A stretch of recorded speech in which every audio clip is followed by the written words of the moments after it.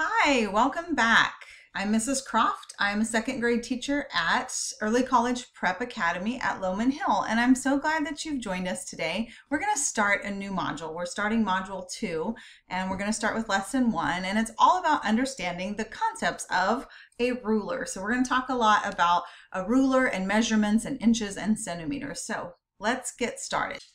Our learning intention today is we're learning to connect measurement with physical units by making copies. And we'll know we succeeded when we explain how to mark and measure with an object without gaps, okay? And we'll talk about gaps in just a second. Our vocabulary is a centimeter. A centimeter is a small unit of measurement. This is a centimeter cube, and it's one centimeter on all sides.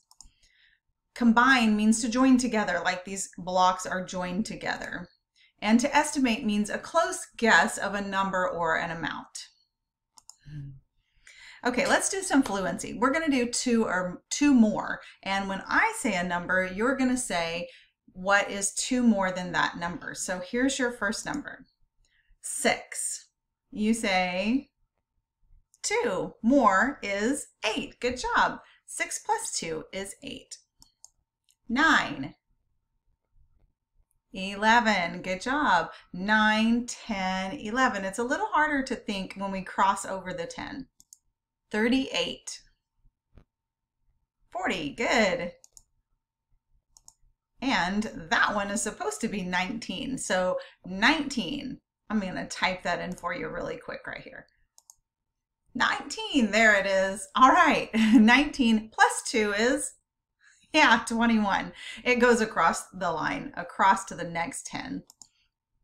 Okay, here's our application problem today.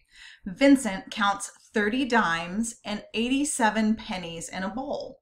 How many more pennies than dimes are in the bowl?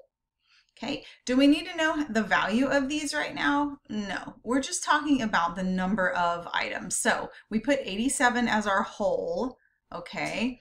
And you want to know how many more, which means we're going to subtract the 30 from the 87. So first we're going to take out your tens because it's going to make it easier. Eight tens minus three tens is five tens, right. And then we have the 7 that's left over here. Well, we already took out our 30, but we need to add that 7 back in. So the 50 plus 7 is 57. So we know that there are 57 more pennies than dimes in the bowl. Okay, always take out your 10. It makes it so much easier. All right, we're going to get right into the object of our lesson. We're going to measure with centimeters. A centimeter looks like this. This is kind of an enlarged view, but if you look on my ruler right here, I'm going to scoot it really close, you can see centimeters are up here. And if we flip the ruler over, inches are on the other side. So it kind of doesn't have them lined up just right, but here it will show you that one inch is about two and a half centimeters. So centimeters are smaller than inches. Okay, here's our cube like we showed before. And if we were going to measure this crayon, which it's not not quite the regular size of a crayon, but it's pretty darn close. We're going to take this cube and we're going to measure it. But I'm going to challenge you right now. Can you guess how many centimeters might it take to measure this crayon? I'll give you just a second to think about it.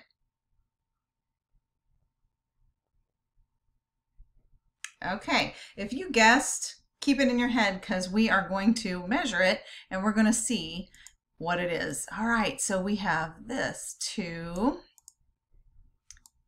three, but you're getting excited to see if you were right, four, five, ooh, I think I might have been off by one, six, seven,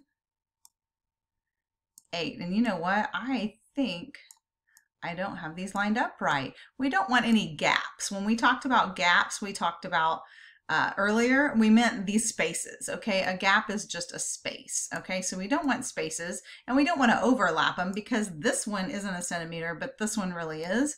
So we want to make sure it's right end to end, okay? So I'm gonna scoot mine over just a little bit so they're about right. So let's count them. One, two, three, four, five, six, seven, eight. I went a little crazy right there. Eight centimeters. So this crayon is eight centimeters long. Were you right? All right, I hope you were right. If you guessed around six or seven, that was a good estimate. That was a good guess. All right, the picture of the fork and the spoon is about how many centimeters long? These are cubes, so we don't see the whole cube, but we're gonna take this little cube, just like you would have your base 10 blocks for one unit, we're gonna use that as a centimeter cube, and we're gonna line them up. Now, you always wanna start at the end. Don't start like this, don't start over here. We wanna measure every part of the fork and the spoon. So we're going to put them end to end so there's no gaps and there's no overlaps. No gaps. No overlaps. Okay, and, oh, we're almost done. Look at that. Okay, well, you see some hanging over. What are we going to do about that? Well, see this word about?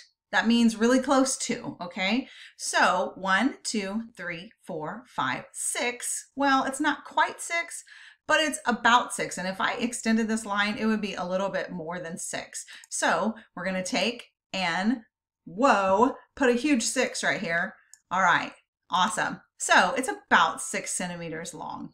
Okay, now we're going to measure another one.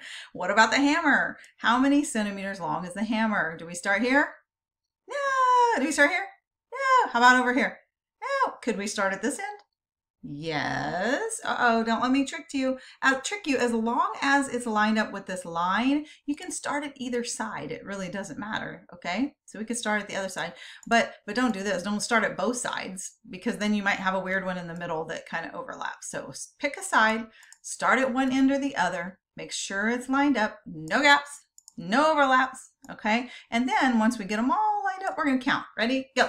One, two, three, four, five. Oh, about five. Here's our word about, about. So let's get our big old, uh, our big old six and we're to change it to a five. All right.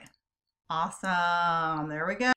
The picture of the hammer is about five centimeters long. Very good. Okay. So we know that a centimeter is smaller than an inch.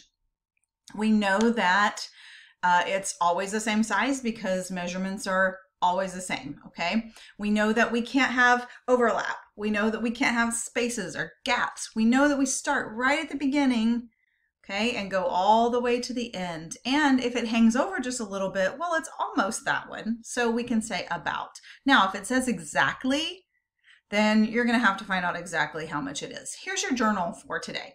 Your journal exit ticket is this paintbrush, okay? You're gonna do the exact same thing but they've already done it for you. So you're going to read about Sarah and how she measured this and answer whether she measured it correctly or not. I bet you can already see what's going on over here. It's kind of kind of wild. And then you have some homework to do. You're going to count uh, each centimeter cube, write down how long they are, and guess what?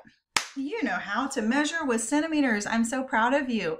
I'm excited about this lesson. I'm excited that you're going to learn to measure and I've got some really cool activities. So you might want to pause the video. If you need to go back, watch any part again, do it. Here are some making tens from earlier lessons and then strolling with my Gnomies. It's a measurement game. so I hope you have fun. And then here's another one with a little uh, beaver on it to measure. And they're just some fun games to keep those skills sharp, okay? I hope you enjoyed this lesson. I did too. Make sure you do your work and I will see you next time.